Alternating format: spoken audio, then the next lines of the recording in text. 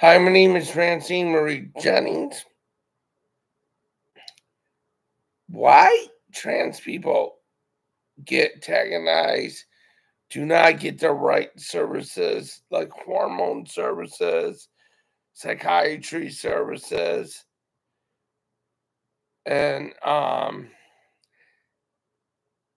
surgeries right away for us or us.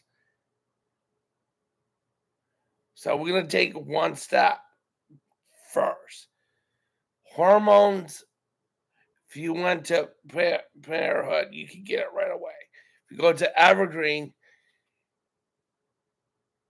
you would have to wait a couple months to see the doctor, okay?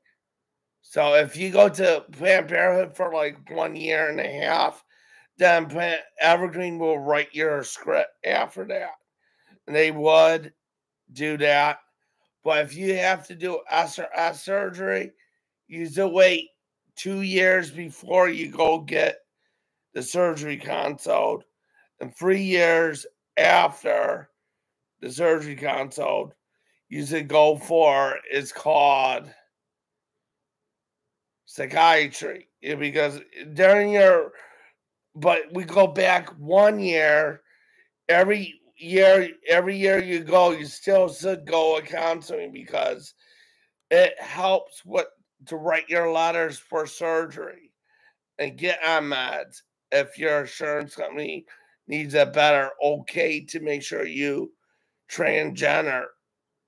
And then gay people is different, okay? LGBTQ.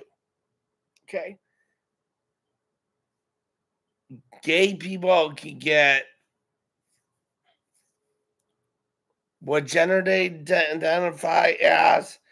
They can get their letters right away. And if they need help, call whatever state you in, like say you in Florida, say you in Niagara Falls, say you in Buffalo, say you in Tennessee, say you in all different states, go to your locus, call 211 wherever you are, or wherever your star network is for referrals and stuff. And then if you need a call, um, like a trans lifeline, you could do that to get your letters and stuff to get um your service providers to get your hormones and stuff. They will put you in the right direction. And because I never dealt with me getting, when I got on hormones, I went to Planned Parenthood right away and say I was trans. But, you know, it took a long time for me to come out as transgender. Took me maybe three years to four years really coming out. And then it was when I got on the meds, it was like only a couple months, like maybe like two months. I would start wearing girl clothes every day. But now I'm starting to grow the breast tissue is like not okay to wear a bra be only when I'm in my house. I don't wear a bra.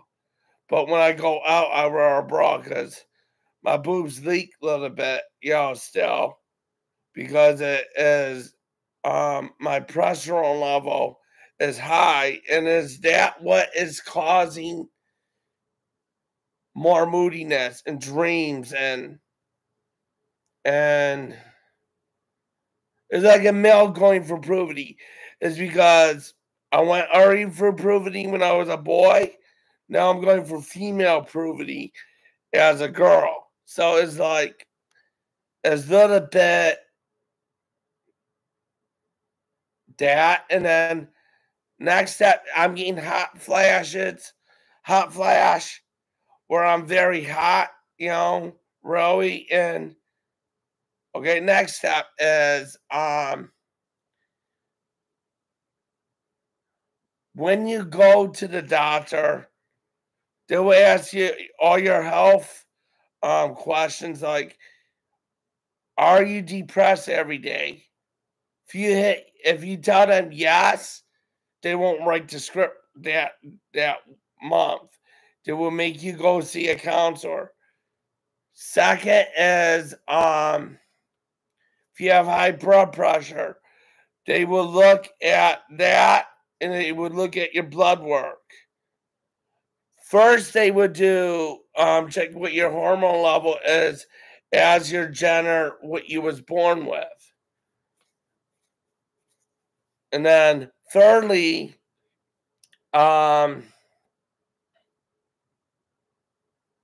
just get your um, hormones check when you get on pills or, or shots or patches or gel. Just get checked. Um, a last question is Do you know any trans people if you came across my channel right now? Just answer them questions um, and leave any questions you want to leave. I am a transgender woman, but you know, I answer all questions. Thank you for listening to me. Please like and subscribe to the channel, hit the bell icon, and share the video. And hi, Tom. Hi, Charity. Hi, Laura. Hi, Ashley. Hi, Tom. Hi, um, Elliot. And hi, Ricky. And Laura.